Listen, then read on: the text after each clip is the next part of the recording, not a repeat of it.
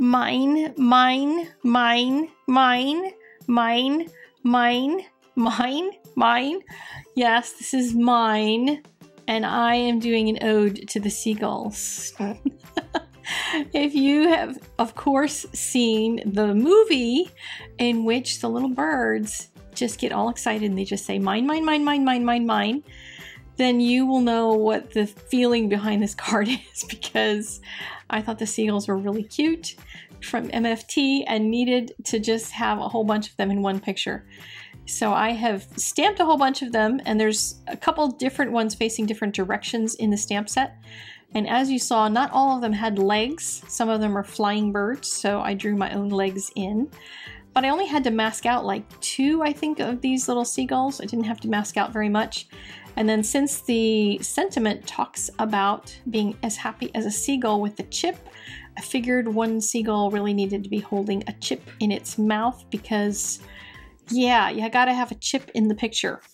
So I just did that with a Copic friendly marker, that's, and those are called multi-liner pens. They come in different widths. And then I just started using a couple different grays to color the wings. There's all different kinds of seagulls though. And if you watch on Instagram, I might end up coloring this again with some other colorations of the seagulls because I thought it would be fun to try that. So go check out my Instagram if you haven't yet. I'm Sandy Allnock over there. Link in the doobly-doo here on YouTube. So I'm just going to use a couple different grays to get a little gradation in my seagulls and then go back to my light gray to blend all that out and make it a little bit smoother. I always start with my lightest color and go toward the darkest and then the middle and then the light again to even it all out. I'm using a duller yellow, a YR, in order to color the beaks. And the reason is because I want that chip to stand out being really bright yellow. So I gave them some little darker colored beaks rather than my normal Y17, which is the best yellow. But I wanted to have enough difference between their beaks and that chip for it to show up. So I'm using a, another dark-ish color for their beak the YR27 and then I'll just use the same color again to blend out that dark on their little beaks. And there's my little chip. Color that in a Y11, but I'll add a little bit more color to it later on probably. And this I'm assuming is a little pier that he's standing on. So I thought, well, he needs more than just the pier standing there. So what am I going to do? So I made a couple lines across this using a multi-liner pen again. So I'm pretending they're standing on a dock. So I'm just going to color in the dock with that same W5 color and make it really simple. Now you could draw the bottom part of that pier on the left and make it a whole scene down the card, but I'm going to do just the top section. And I'll do another little piece of pier here. I could have drawn it with my pen, but this way I get to sort of fuss around with it with the color and then go around it with the pen. And that makes it a little easier sometimes and you're not having to make your marker fit within your pen lines. And then I'm drawing a little bit of wood texture using that pen, just scribbly lines to give it a little bit of interest to it. But the stamps are so simple, I didn't want to make anything hyper realistic necessarily here. But I did want to focus on the water because I thought the water would be fun and could make them stand out from it because they're white birds on white paper. So giving them some color behind them is going to make a big difference. So I'm just going to grab a couple of blues and start working my way up the background. Because when you're coloring an ocean, as it gets further away from you, it's going to get lighter generally. Well, I shouldn't say always, because sometimes depending on the lighting, it may not look like that, but nonetheless, it'll give that illusion of distance if it gets lighter as it goes off into the background. So this is the B97 and B95, just kind of blending them a little bit to give them a little, little blend in between. And then I started jumping to the B93. Now look how dull that B93 is compared to the other colors. It almost looks like it doesn't fit in that color family because it just doesn't have that intensity. And that's what you'll find with a number of Copic markers. You'll suddenly come across one, you're like, wow, that just is weird. And don't worry, it's not you. It's just the way things are. So I'm going to do a little something called glazing with that. It's something that I talked about a lot in the Copic Jumpstart class because I'm going to take a B21, which is much more saturated because it has that 2 as the first number, so that's the saturation number. And I picked that deliberately because it is brighter, it's also lighter. And then I'm going to go down over top of that B9-3 that was so dull, and it's going to brighten that up a little bit.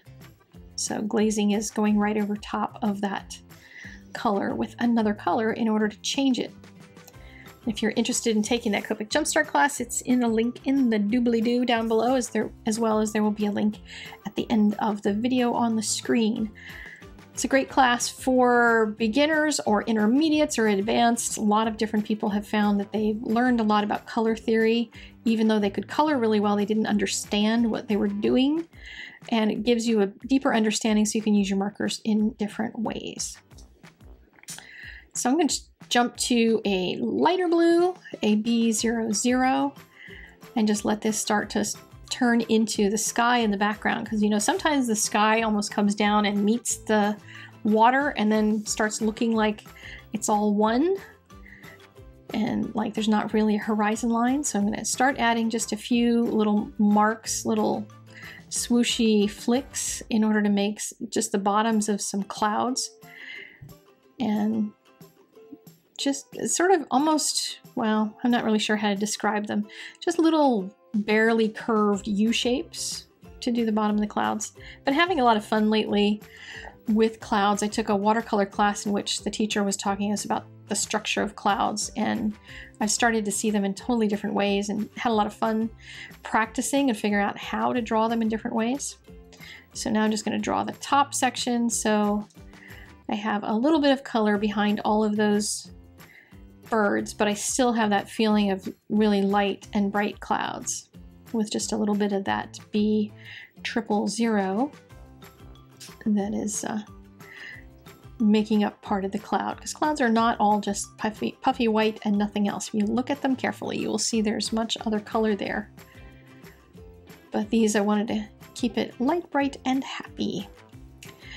And then the last thing is going to be to work on the birds themselves, because now that I have an idea of what's in that background, I wanted to add a little bit of dimension to the birds themselves. So just a tiny bit, I'm going to do a few strokes of C3 at the bottom, and then run right over top of that with a little bit of C0, and that will soften that out and leave their heads nice and white, but it dirties up their bodies a little bit. If you've ever seen a seagull, they are not the cleanest of birds.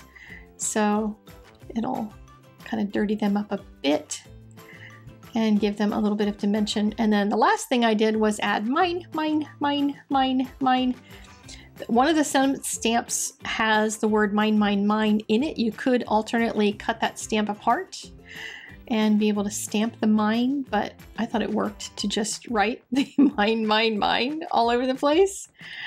And there you go, my finished silly card. I hope you have enjoyed this. All I did was tie a little bit of twine around it after mounting it on a little bit of layers of paper and I think it was really fun. So here's some more videos. If you want to see more, you can click on my face to subscribe. And there's also that Copic Jumpstart class on the screen if you'd like to take that one. And I will see you guys later on. Have a really awesome day. Thanks much. Bye-bye.